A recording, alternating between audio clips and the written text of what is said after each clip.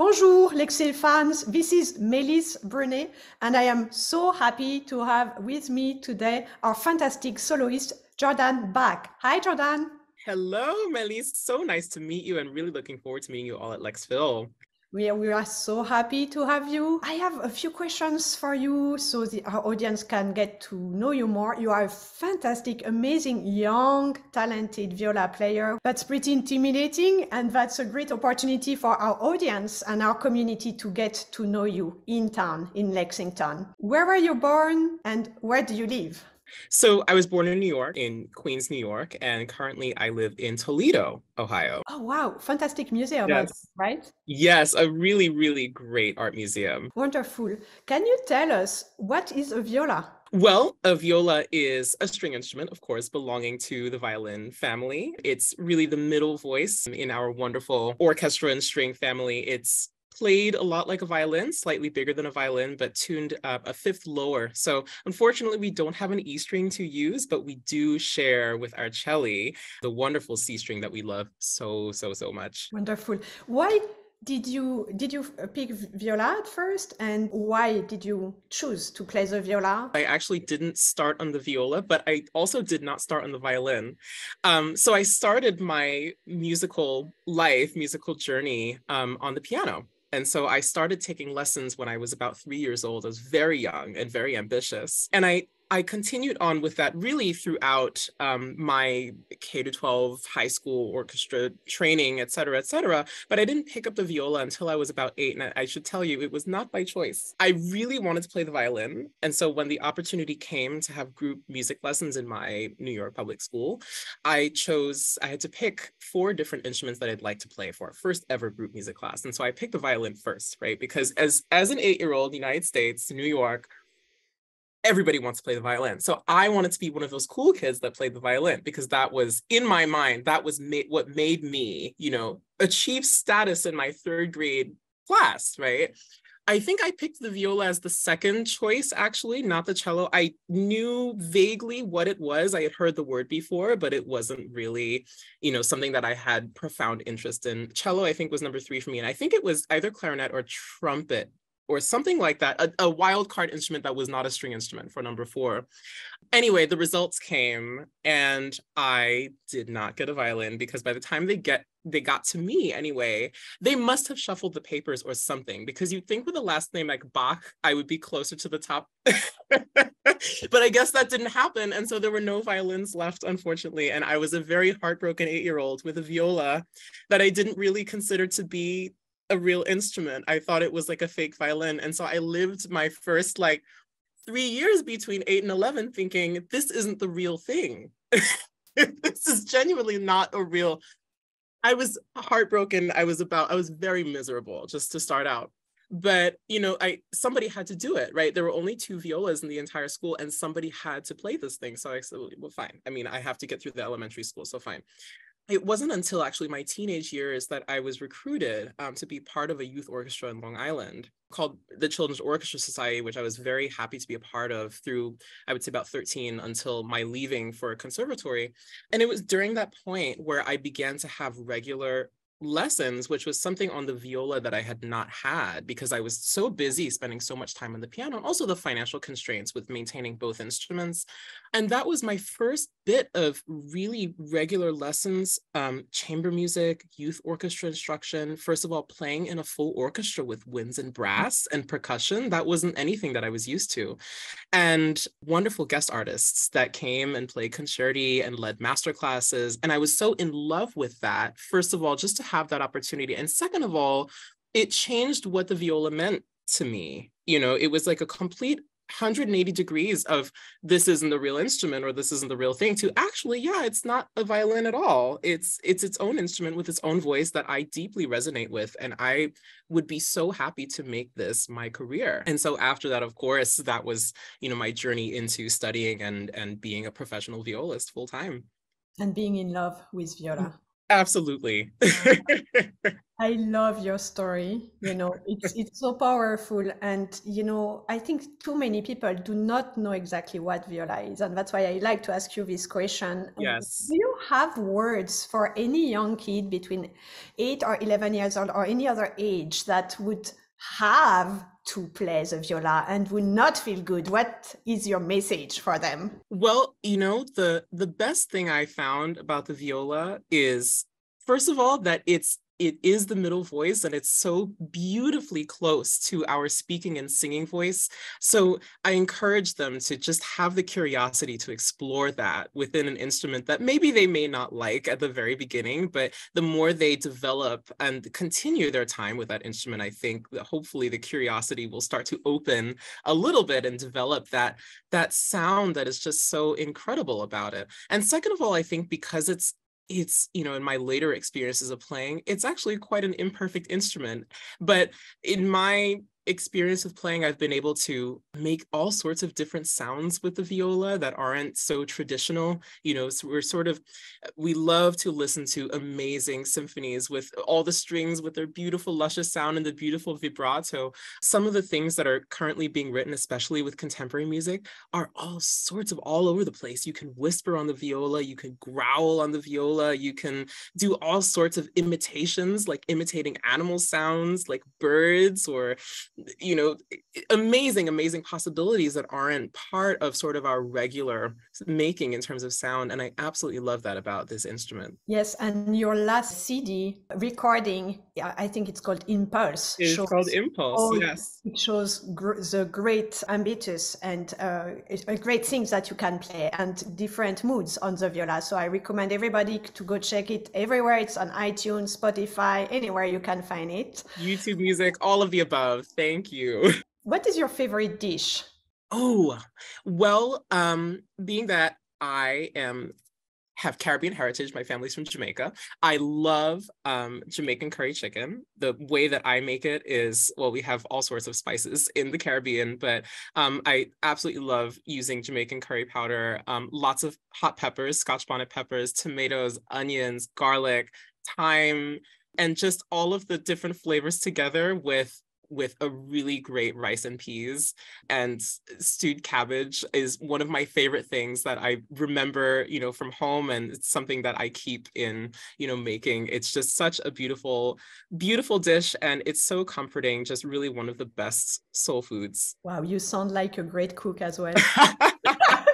so maybe we will, I will need to. we'll have to cut to me in the kitchen.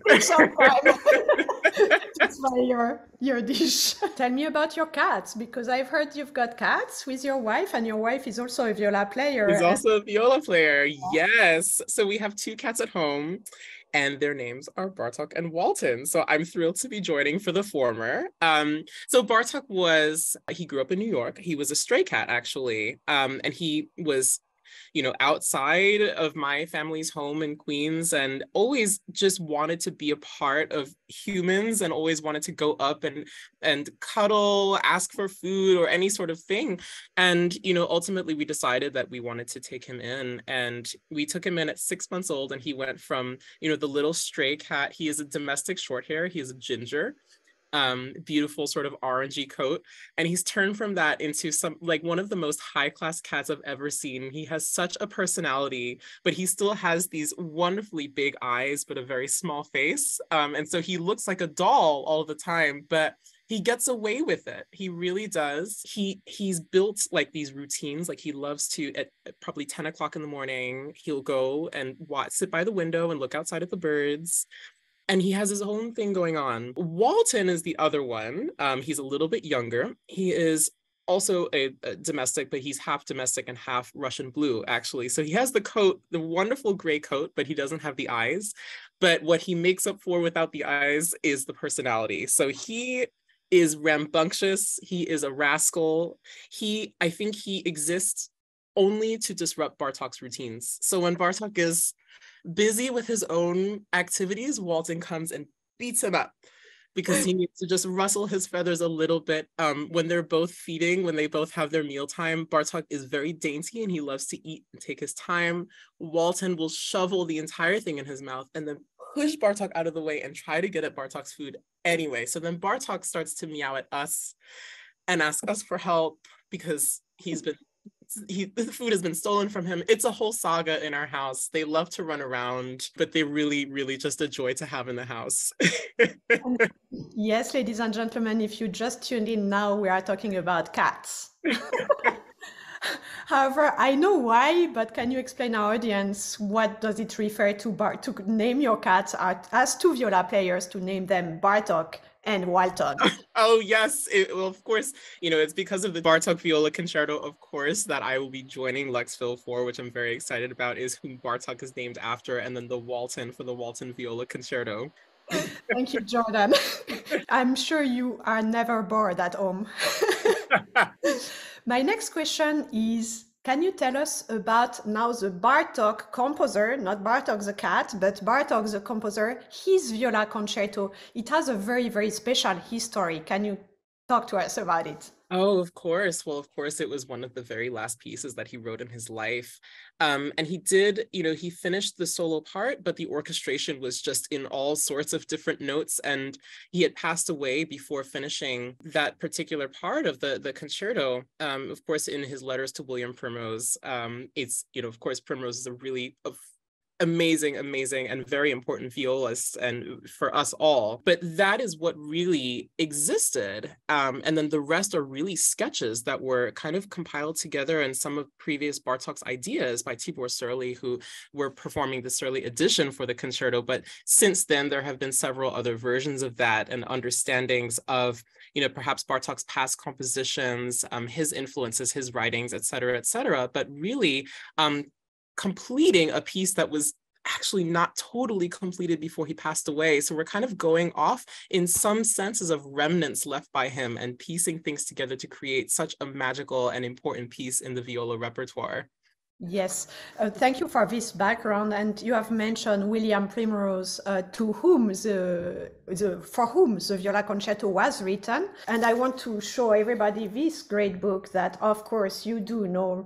Uh, playing the viola, it's conversation with William Primrose, and I Absolutely. think David Dalton unfortunately just passed, maybe a month. Did just pass away, David Dalton. Yes, and it's a fantastic book for any string players. I would say not only viola player, and also, uh, of course course, conductors. Uh, and he mentions at one point about the Bartok concerto that the fact that uh, it was not totally finished, yes. he has altered some fingerings and some harmonies as well.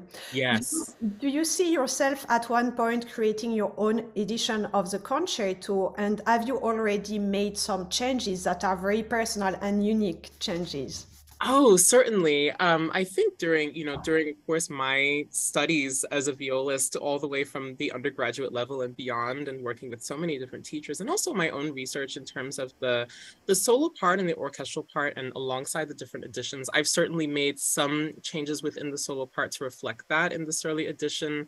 Um, there are some registral changes that might reflect a, a little bit more clear of a solo line that might not be present in that particular edition, but does exist somewhere else.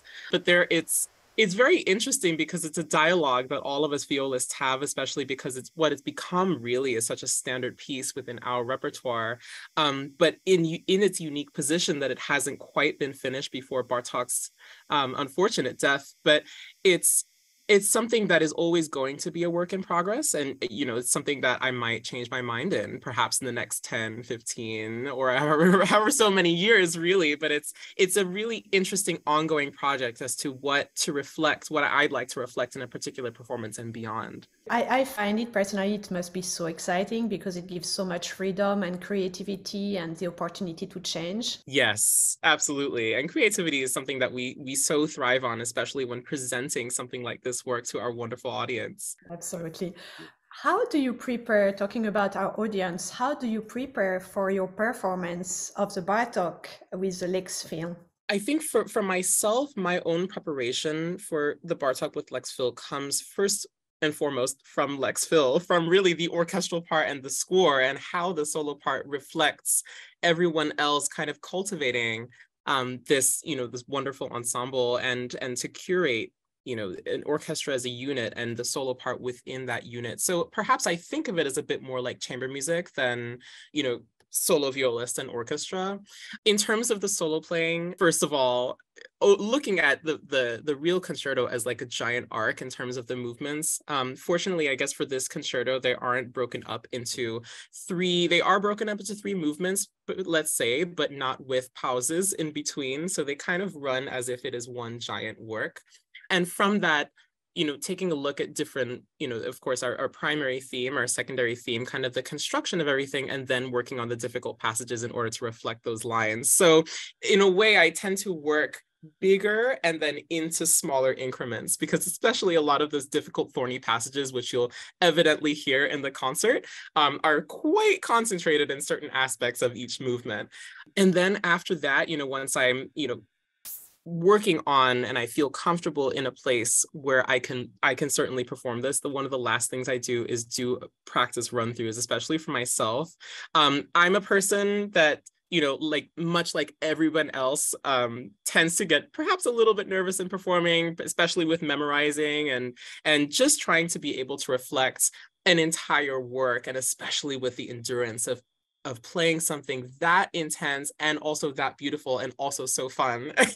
There's so much to go in that sort of a preparation. So we'll hopefully I'm sure it will be absolutely wonderful, but we'll continue to um, project that once the concert comes. Very exciting. It's very inspiring what you just said. And I'm sure it's inspiring for not only viola players, but even for me, it relates to my Yes. you know? um, thank you for sharing. What music do you like to listen to? Oh, I love to listen to music really of of all genres. Um, I think in, you know, when I'm driving a lot of the time, I don't really listen to classical music so much. Um, I think I reserve kind of my listening of classical to either being at home or doing other things actively practicing, you know, listening to recordings in a contained space where I can have the space to dream up with imagination. Um, other times I love to listen to perhaps classic rock, alternative rock, some things like hip hop and R&B, um, reggae, calypso, soca, um, just kind of everything under the sun, um, especially when I'm relaxing, um, jazz, um, really love Thelonious Monk, one of my favorites in terms of the jazz world. And, you know, some other contemporary groups I love to listen to and just be inspired by music of all types. What is your favorite piece of music that is not related to viola and can be in whatever genre? Oh, well, you know, the the last one of the last pieces um, that I heard in person was actually done here at Bowling Green and it was the Ravel piano trio and I absolutely love it. It's just so magical and it it reflects so much of what I love about Ravel is especially the harmonies and there's so many luscious colors of it's such beautiful air but so much soul in in that whole piano trio and it's one of my favorite works. Unfortunately i don't ever get to play it because it's violoncello and piano but i absolutely i will be one of the best audience members for that piece because it's one of my favorites.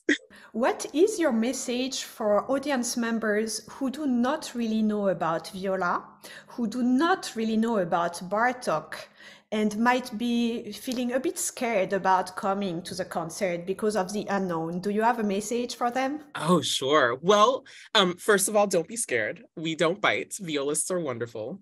We have a whole society of people. It's really fantastic. So the viola of course, you know, it's not an instrument that is terribly common in the concerto literature. Um, so I certainly would certainly suggest to be open to the types of sounds and the types of possibilities.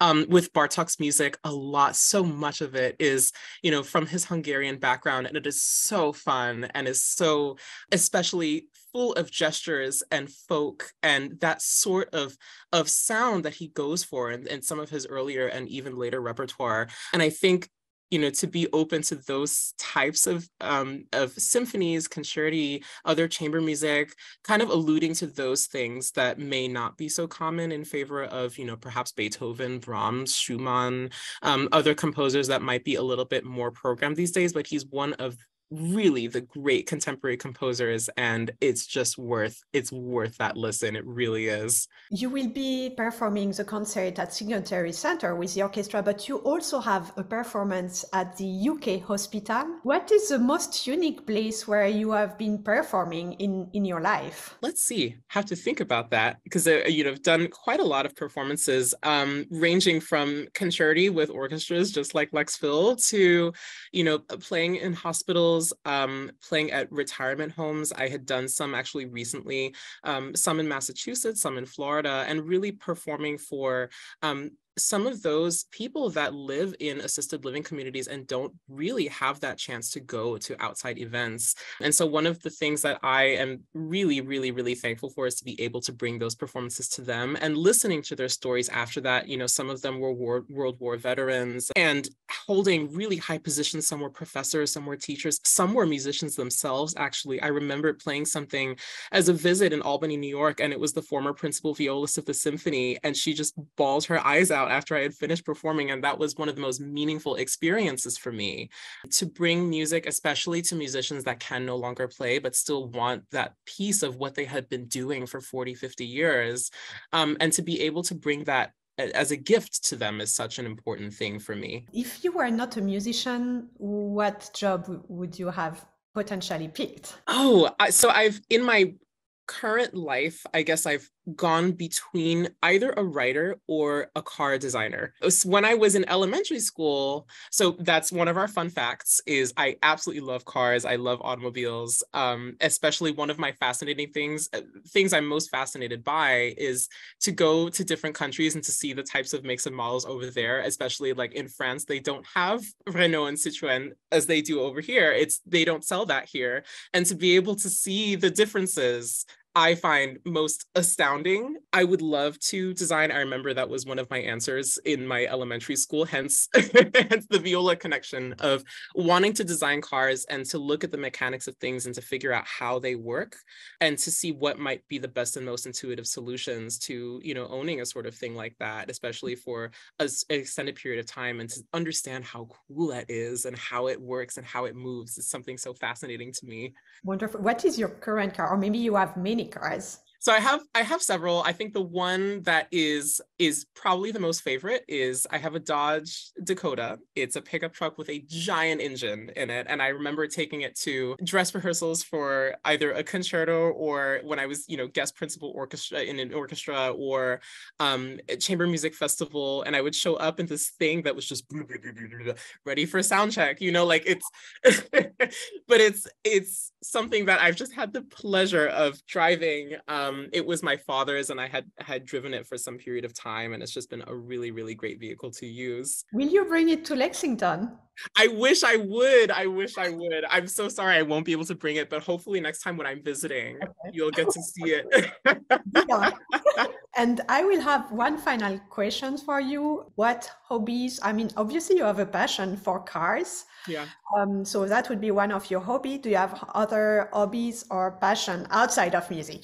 Oh, let's see. Well, I do like cooking. I do love eating. Um, I love, you know, my wife and I, one of my favorite things that we love to do is to do like food tours in a different city, like especially if we're visiting, just to find the different restaurants and just go on like a marathon of like kind of doing tapas or small plates, go to a different restaurant, have something else, go to a different restaurant, have something else, and just kind of understand in terms of culinary culture what that place is like. So mm. I guess eating would be top of the list for me. we will have a blast in Lexington because the restaurants are amazing. So excited. Everybody like who has a restaurant, make sure that comes to see you. Oh, absolutely. I'd love that. One very, very, very last question. What is your cat's Bartok's reaction when you play the Bartok concerto at he does meow. It's I don't know if it's I don't know if, if it's in response to the concerto or because he wants food. It could be either. He's a very hungry individual, but he does meow. okay, send send us a little clip. Thank you so much, Jordan, for your time. We are so much lo- looking forward to see you in February. It will be on February 18, a Saturday, at the Singletary Center, and there is Inside the Score where we will talk again and take questions from the audience. And at 7:30 is the concert with the Bartok Viola Concerto. Thank you so much, Jordan. Oh, thank you so much, everyone.